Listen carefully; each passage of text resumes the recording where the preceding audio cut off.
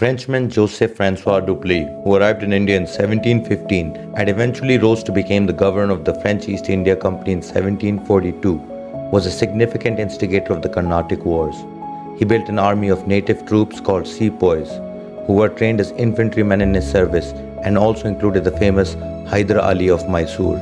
Dupleix sought to expand French influence in India, which was limited to a few trading outposts, the chief one being Pondicherry on the Coromandel coast.